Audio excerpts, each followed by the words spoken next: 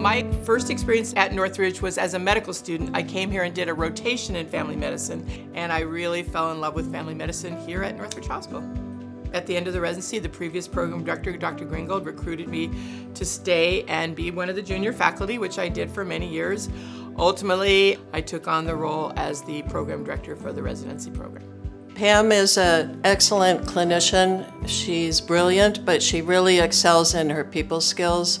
Occasionally, I would take care of one of Dr. Davis's patients um, when she was not available or on vacation, and they would frequently say to me, I'll, I'll, see you because Dr. Davis told me that I could trust you and that you're a good doctor. So that says a lot, I think. I first heard of Dr. Pamela Davis through colleagues of hers. So when I came to Northridge, I already knew that she was highly regarded in the community of, of family medicine residents programs. And after a few months of working with her, I saw firsthand why, because she's so dedicated, but she also cares. And she instills that to her residents. So I think it's fair to say that Pam's dedication and spirit and her loving heart that she instilled through her residents is being passed to the literally hundreds of thousands of people those, those former residents treat today. If you think about it, it's pretty amazing that one person can have that much impact in the world.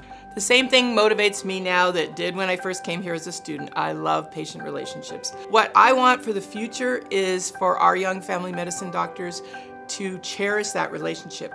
I think medicine has changed a lot. There's a lot of computers and a lot of coding and issues. The art of medicine is what I still want to teach our young doctors, truly feeling empathy for our patients. The future of medicine needs that more than anything.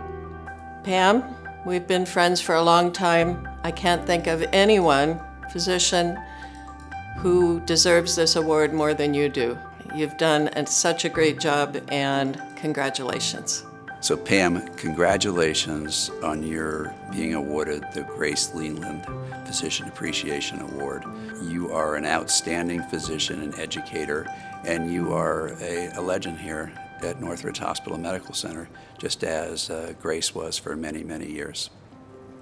Pam, you're the one of the most caring, creative, compassionate, professional colleagues that I have served with. I'm proud and honored to be part of your celebration of your truly well deserved Physician of the Year award. Congratulations. I first met Dr. Pam Davis in 1987 when I interviewed with her as part of my application to become a resident at the Northridge Family Medicine residency program.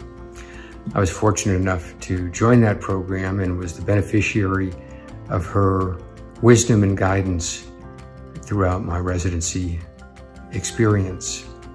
Later, we became colleagues and friends and have continued in that role for 35 years now. Across all of those years and roles, I've been so impressed with Pam. Her dedication and focus to helping train our future family physicians is remarkable. She navigates the complexities and intricacies of her administrative roles with grace. And her dedication and compassion to the disadvantaged is inspiring. I can't think of an individual more deserving of this award. Congratulations, Pam.